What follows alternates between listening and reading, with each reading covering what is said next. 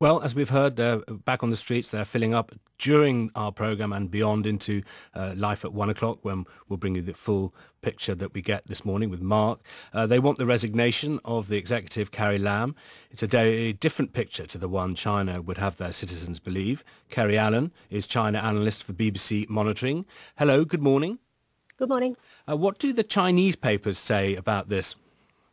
Absolutely nothing. Um, when it comes to the protests, um, China will never show any images whatsoever of protests taking place. So this morning, for example, when I've been opening Twitter, I've seen pictures coming in from independent media in Hong Kong, from overseas, um, our correspondents on the ground, showing the sea of black people in areas like Victoria Park and Wan Chai.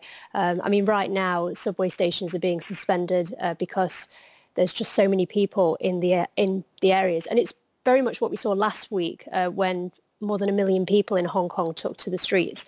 Um, there's there's just more and more people coming out, but the government is so nervous about showing any of this. I mean, even if it was say 10 people, uh, not a million people, the government doesn't like, the communist government doesn't like to show any dissent or, or suggestion that the Communist Party is, is wrong in any way or is, uh, is, is, is basically, yeah, it doesn't like to show protests full stop. So um, so the word hong kong is is censored in mainland china and yet the protests people wouldn't know they're taking place. So um, you're looking at the same uh, scenes as i am. The microphone is down on one street uh, and we are seeing the street completely packed from side to side and then as far as the eye can see uh, the picture goes back by um, 400 yards filled with people. Let's just listen to what this is live now. And perhaps you can tell me, Kerry, uh, how you would judge this uh, um, demonstration to be compared to last week's.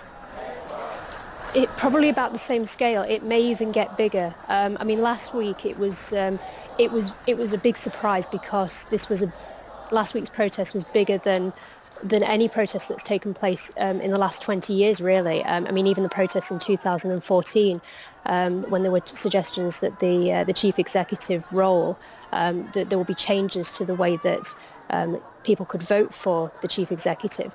Um, the, the scale of the protests are absolutely huge, and people people are aware that Carrie Lam saying that she's going to suspend the bill. This was quite surprising uh, because she's she's gained a reputation for basically saying I will not back down. Um, so uh, so for her to do that, um, that was quite a surprise. Uh, Chinese the Chinese government did respond to the the bill being suspended and said that they were they thought it was critical. Um, they they didn't think it was a good idea to suspend the bill whatsoever.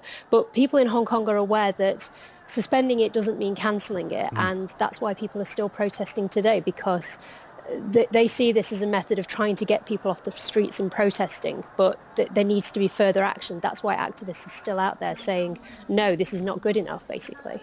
Kerry Allen, China analyst for BBC Monitoring, thank you very much indeed, uh, telling us that Hong Kong, those uh, sentences are now cent- censored on social media in China.